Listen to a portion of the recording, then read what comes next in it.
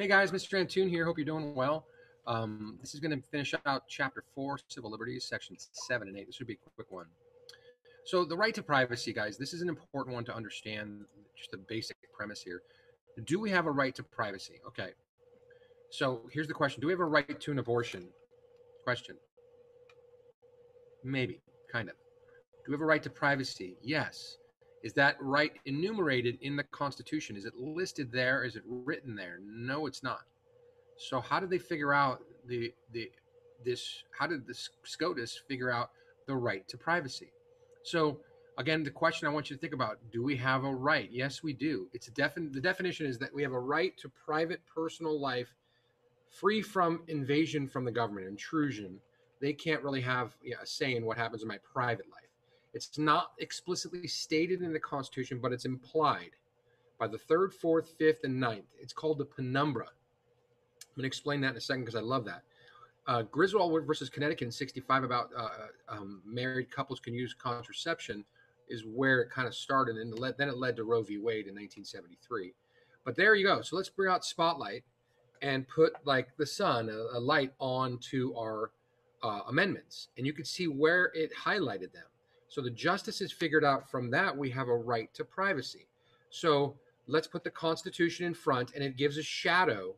And that shadow in the it, like think of it an eclipse. We had an eclipse here a few years ago. Um, it wasn't a full eclipse. Uh, if you're underneath where it's completely darkness, it's called direct. That's enumerated from the Constitution. We know our exact rights. Implied is what they call the penumbra. It's the shadow on the outside when you see a partial eclipse. And that's what the idea of where they got the right to privacy with, guys. And again, you can see again, this led to Roe v. Wade. It gives the woman the ability with her doctor to choose to have an abortion, not the government. And it's only in the first trimester, guys. Uh, states had a varying on the other, uh, you know, each state can decide on the other ones. And you can see the New York Times there. Weird is that LBJ died the same day as they passed this case. So again, it's about pro pro choice versus pro life. That's the big fight that we're having over but it gave women autonomy over their pregnancy during the first three months. Um, and again, at different levels based on the state. 46 state laws had to be changed based on this cool uh, court ruling. And you can see in a post Roe v. Roe world, the dark blue states are likely to protect it.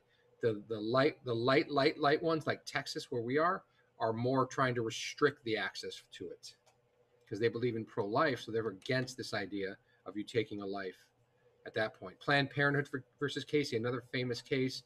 Uh, Planned Parenthood's major role is to help out women, and obviously in, in terms of men with couples, but it's about women's health. Abortions aren't a big percentage of that. So again, I know that that's a big deal because Planned Parenthood gets money from the federal government. A lot of conservatives, Republicans are not happy with that. Just a thought. Um, so in Planned Parenthood versus Casey, they gave you there were three things up in Pennsylvania. 24 hour waiting period, which is good because you want to make sure you you you want to take, you know, to have that abortion. You want to to wait to see if you have any remorse about it. If you're a minor, you need consent of one of the parents, and then they proposed the married woman had to notify the her husband of the intention. Well, they they took the first two and got rid of the third one.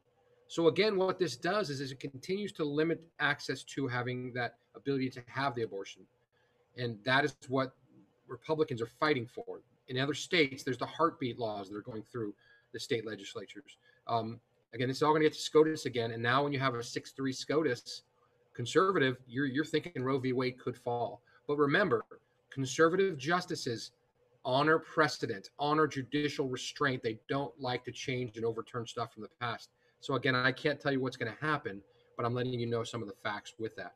So, does this reaffirm or erode Roe v. Wade? Obviously this is, does erode it to some degree. And again, you can talk about you know babies. 55 million have been aborted since 1973, but the numbers are a lot lower than they were at, at first.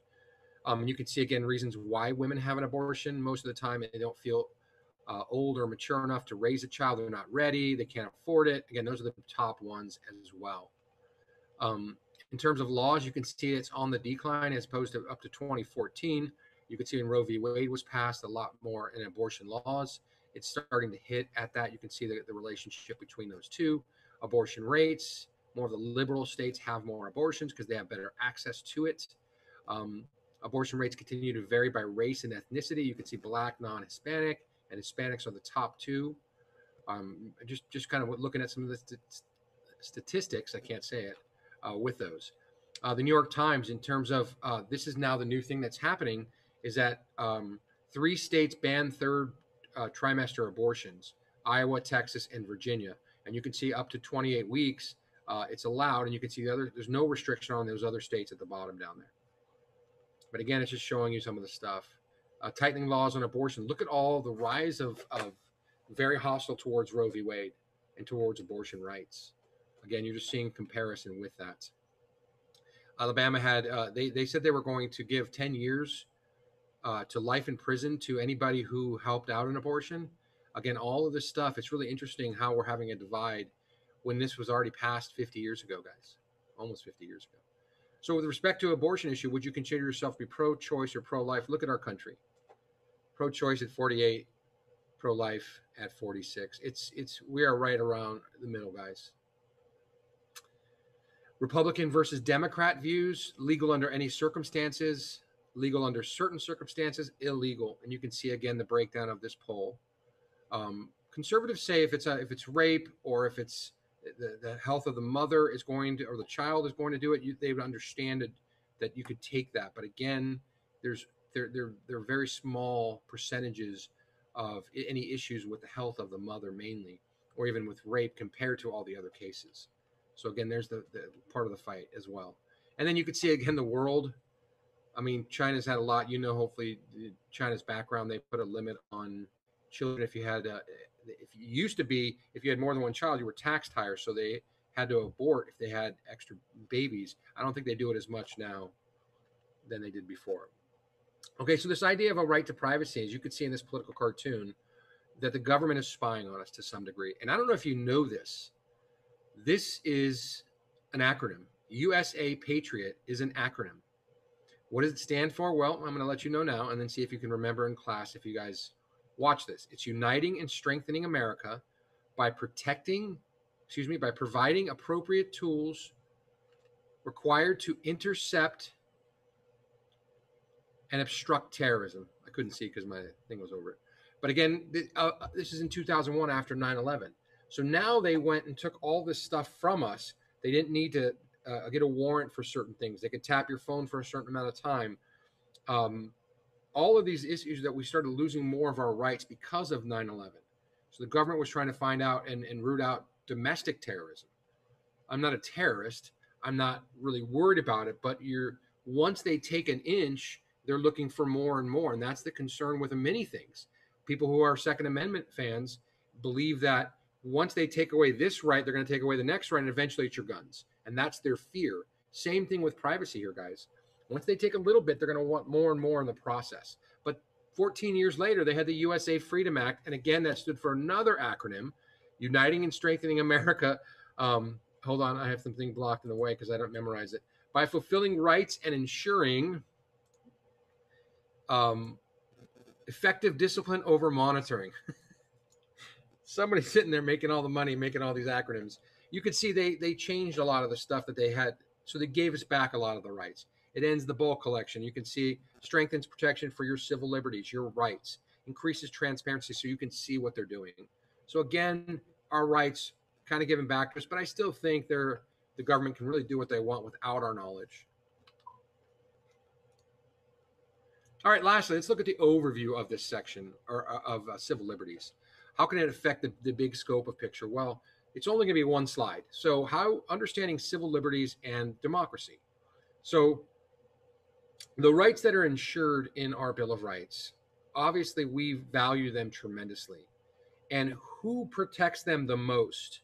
It's the courts that really have to protect these civil liberties especially when it comes to civil rights, which is group stuff, which is chapter five. But again, you're looking at the, the idea of democracy that this is truly what democracy is based on. So you have to thank the Anti Federalists for giving us this protections against our government. We don't want an, a, a, a monarchy, an absolute ruler, therefore, a government that is tyrannical. So we have protections against them. Obviously, if they became over absolute monarch, we wouldn't have these rights. They would go away and a democracy would crumble in our country. So again, it's important to understand those that, that how important these are, even if you don't really use them every day. In terms of the scope of government, again, deciding between freedom and order, we generally choose freedom, liberty. Um, they obviously limit the scope of government. You can't, you don't have 100% free speech. We can't say, I'm going to assassinate the president. You could say generically, like, oh, yeah, but if you're serious about it and you look like you're plotting it, you're going to have Secret Service show up at your door because someone's going to, to hear it. And then they might not know if you're joking or not, and you're going to get in trouble as a result. So you don't have everything. So obviously, um, it depends on obviously which party's in power as well as that's always a reflect of the scope of government. If it's a liberal government, they're going to increase um, the, the, the size of government. Therefore, it's more intrusive on uh, our liberties in sense of big government versus the conservatives who usually not really now. I mean, Trump is not really a conservative, guys. They're they're they're changing this idea of republic republic Republicans to Trumpism, the idea that it's about him really, because again, they're not doing normally what traditionally what a conservative would do. So it's kind of changing that idea. So in terms of the traditional conservative or Republican, they would want a smaller government. So the scope of government would be smaller compared in terms of trying to attack your liberties. Because remember, Republicans today, even though they were Democrats at the beginning, because it kind of flipped, they want they're they're the anti-federalists. They're the ones who want states to have more power and regional power as opposed to the central government. Whereas liberals want obviously states to have the power, but they want a big when they get in office, they want a big, bigger scope of government. So that always affects them. Okay, that is it for today. I will see you in chapter five. You guys take care.